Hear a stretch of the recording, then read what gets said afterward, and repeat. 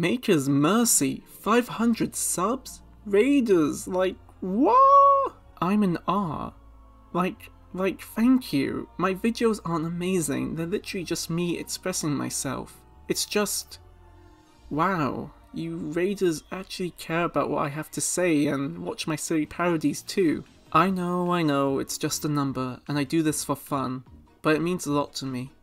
Thank you. So, when I reached 250 subs, I made a video recommending a RPG Maker game that deserved more love, and I want to do something similar. This time, I want to recommend, arguably, in my opinion, one of the best puzzle games ever, which deserves more love. Like, a lot, a lot, a lot of love, because the quality of the game is so good, and the price is so decent. Why aren't more people talking about it? How did it get under the radar?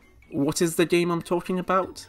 The Spiral Scouts. Before I talk about it, I do need to explain some stuff first. Number 1. This is an adult puzzle game. Not in a porn way, but the writing is for adults.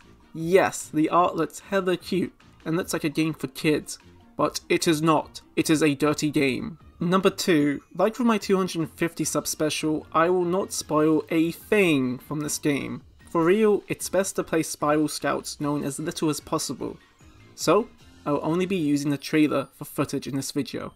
This worthless fanboy will try his best to sell the game without spoilers. If you value my worthless opinion, go ahead and buy the game. The link is in the description. With that said, let's go. Where do I start? Hmm, I know, what's the story about?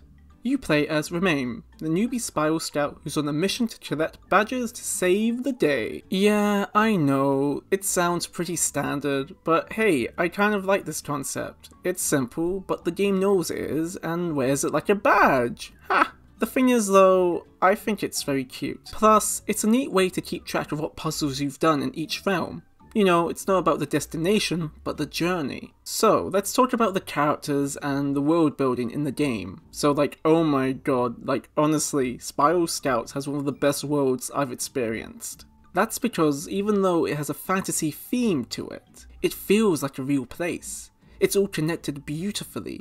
Plus, there are so many little details that add so much personality to the realms. It's not an empty world with nothing to do with most AAA games, but it feels like people are doing shit. Yes, you play as a newbie, but guess what? There are other characters doing their own poop too. You don't matter to them. The world keeps moving on without you. That's dope. We need more worlds like that. I don't want to be center of attention. Speaking of the characters, when they talk to each other, they sound like they know each other. Like they're actually friends. Or how about a couple in the game that actually sound like a couple? It makes the game so much more charming. Like, let's pretend instead it was just characters info dumping the player, because Remain is a fish out of water character. That would be boring because it has been done so many times. Instead, we get blessed with fun and engaging dialogue. As the player, you start to care. You learn more about the characters and the world with very little. My point is, the Spiral Scouts has a great pre-established world. The devs cared, and they worked hard on it. The game reminds me of Grim Fandango. That's a compliment because I think that game is the best when it comes to making a pre-established world. For a game as small as Spiral Scouts to make me think of Grim Fandango, that's fucking special. For real, these devs need to make more games together. Moving on, the Spiral Scouts is a puzzle game. So, how good are the puzzles? They are fucking good! Let me be upfront and honest. I am not a puzzle person. I'm dumb and I'm awful at them. Whenever I play the OG Silent Hills, I put the puzzle difficulty to easy! I am awful at puzzles. Yet, the puzzles in Spiral Scouts are so well crafted that even I managed to successfully figure most of them out with time. The game never rushes you to solve a puzzle, it gives you the information you need and then it's up to you to solve it. And once you do, it feels satisfying. Like I said, I can't spoil anything, meaning I won't use one puzzle as example because all the puzzles are good and I don't want to ruin any of them. Trust me, they're great. They're not repetitive, None of them made me feel like they were cheap or unfair, and even though I did need to use a guide for a few of them, once I understood the answer, it connected, and I went, oh, that's how you solve it. In my opinion, that's how you make a good puzzle. It doesn't hold your hand, gives you the information you only need, it's not bullshit or cheap, and it never rushes you. Now, being a little petty femboy, one puzzle for me was a bit hard, and I wish the game gave more information, but that's not the puzzle being bad. No, the puzzle was actually amazing. One of the best ones, to be honest. It's more like I was just dumb, and you know, I just wished a little more help was given. Raiders, if you do end up playing, give these puzzles a good try, spend time with them, and if you're really, really struggling, and you feel like you don't know, then look at a guide. There's nothing wrong with help. Just make sure you give a nice spanking attempt first. Now, one of the factors that really make this game amazing for me is the humour. This game is funny as fuck! It's dirty, horny, filthy, and I love every bit of it. And that's because it's adult humour. Lots of games, hell, mediums in general, don't want to make something exclusive for adults. In terms of sales, if most audience can play it, that's good because more potential sales. But if you make something only for adults, you're chopping off potential sales, not of Spiral Scouts. The devs wanted to make an adult puzzle game, and it's so refreshing to play a game that's targeted towards adults. It doesn't hold back. Bless these devs. The humour makes me laugh out loud so many times. It doesn't treat you like an idiot.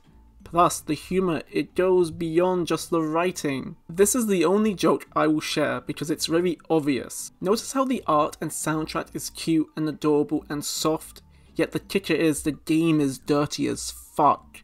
It's an irony. It adds to the humour. Hell, I bet it even fooled people who didn't bother learning more about the game, who thought this was a cute game, then they got surprised by it.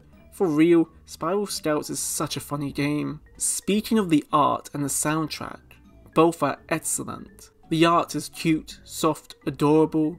It feels like it belongs in a children's cartoon, which is ironic because of how dirty it is. But guilty as charged, I do love it. I'm a softie, okay? The game that's really fucking cute. Oh, we need more cute looking games. Oh baby, the soundtrack is so good. The music fits so well with the art and the world. If like the music was made from the game's world, this is what it would sound like. Mwah!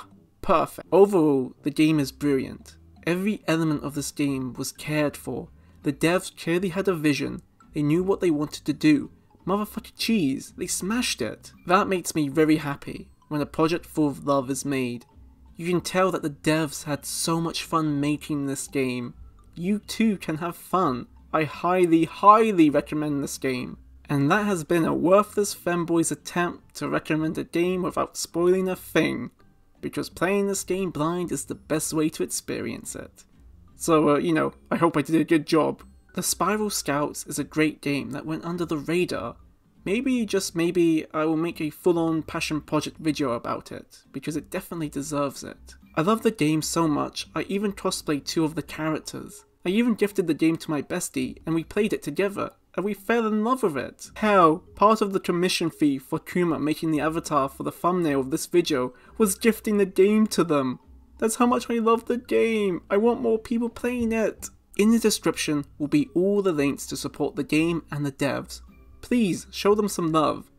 To my knowledge, one of the devs are working on Fiends of God that was kickstarted and the trash that I am, I missed it. I keep missing Kickstarters that I would love to kickstart, but I will buy it when it comes out. Definitely. So yeah, I just want to say again, thank you for 500 subs. I make videos for fun, and it means so much to me that you raiders like my content so much, you want to sub to the channel. Thank you. I guess the next goal will be 750 or maybe a thousand? I don't know. I'll try to think of something special to do if we do reach those numbers. Not just promoting a game. Maybe a Q&A? I don't know. I don't know. Moving on.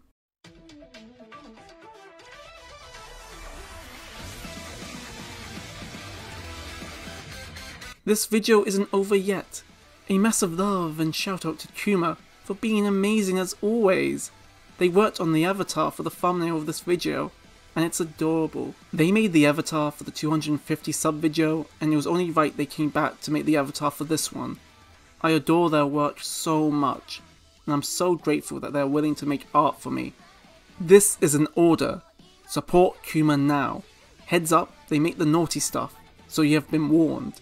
Their links are in the description. Go, go, go! Support them now!